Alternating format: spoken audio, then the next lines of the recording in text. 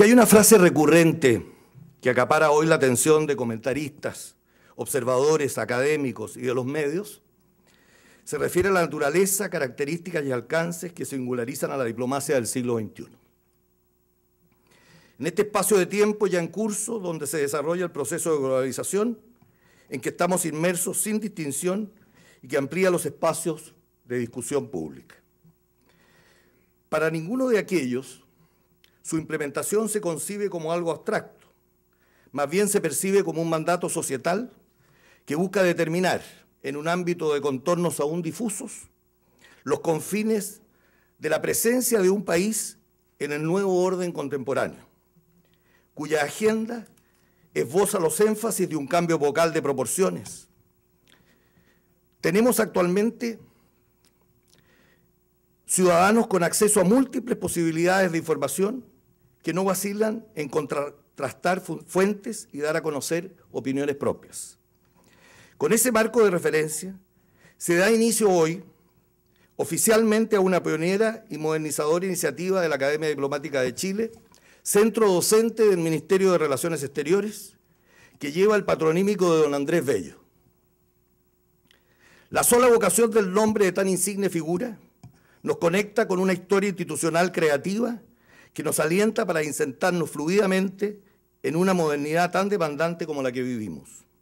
Dentro de los objetivos y variadas funciones de la academia, se contempla dar preparación profesional y promover el perfeccionamiento de quienes laboran en la Cancillería. A su vez, tiene como tarea promover y difundir el estudio de temas de interés nacional e internacional, especialmente aquellos relacionados con la política exterior de Chile.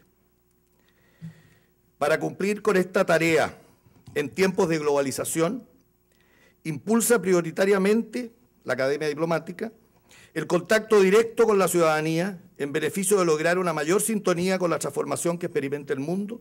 y poder así asimilar convenientemente el advenimiento de fenómenos históricos y adecuarse con la masificación de los medios de comunicación y de las tecnologías de la información y las redes sociales, por cierto.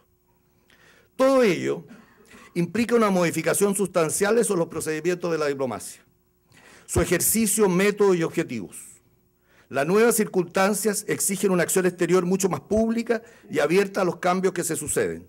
En otras palabras, significa que sea más participativa, asimilando el surgimiento de otros actores y nuevas tecnologías en el escenario mundial y asumiendo otras formas de resolvimiento e interacción en el ámbito global. Ello exige a su vez mejorar el nivel de competencia y habilidad de quienes actúan en su contexto.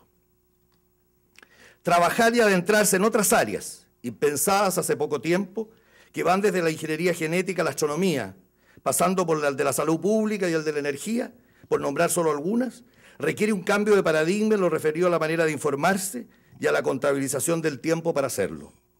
Cabe complementarse de otras realidades y situaciones, amén de la obligación de gestionar inteligentemente la información colectiva disponible.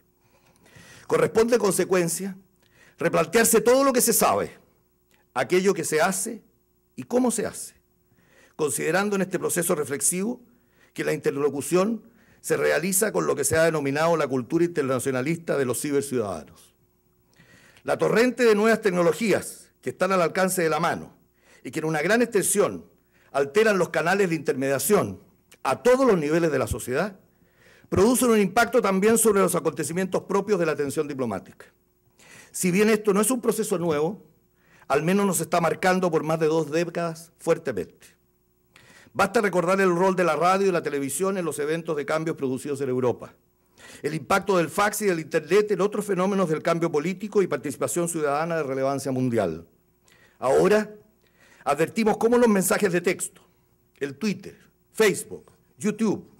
y otras expresiones de redes sociales son claves a la hora de configurar una tendencia de concertación y colaboración entre los distintos actores que convergen en el escenario global. En suma, la virtualidad como eje del contacto colaborativo se transforma en una herramienta de trabajo que está determinando también el rol de la universidad y de la academia en general, cuya misión ya no solo se reduce a compartir conocimientos o entregar información, sino que se extiende a otros aspectos relacionados con el pensar, reflexionar, discrepar, debatir, investigar, filtrar,